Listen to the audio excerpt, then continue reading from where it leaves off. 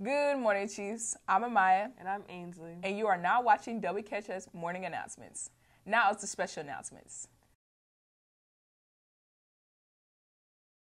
Attention seniors. The scholarship award ceremony will be held on June 9th. If you have not bought a copy of your scholarship award letter to Ms. Harmon in guidance, please do so ASAP. Congrats to Jack Tapman, who was recognized as an EBA Student Spotlight recipient. Also, congratulations to Catherine Lowe and Madeline Diaz on winning the Future Teacher Award contract. This award guarantees that they will be employed as educators with VBCPS after graduating from their college teaching program.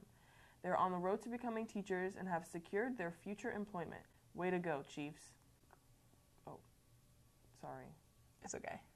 It just kind Why of. did I say club? Yeah. Oh. Okay. Yeah, I think you could just say now to my clubs. Yeah, next. Yeah. Now into Amaya with clubs and organizations.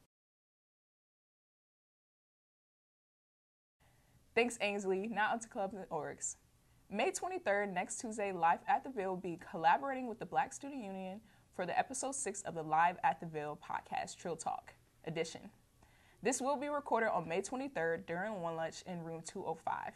Come join the audience to have a group conversation about personal identity and how culture, religion, and family can impact it. The Women in Literature Club will meet during one lunch on Thursday, May 18th in room 202. They will read and discuss a very short story by Kate Chopin and talk about the book Educated by Tara Westover. Additionally, scan the QR code to sign up for the Be a Guest at the Live at the Ville podcast. This podcast is for students and by students. So get the opportunity to propose a topic of your choice, either school related or something else, to discuss. See Mr. Domich in the library if you have any questions.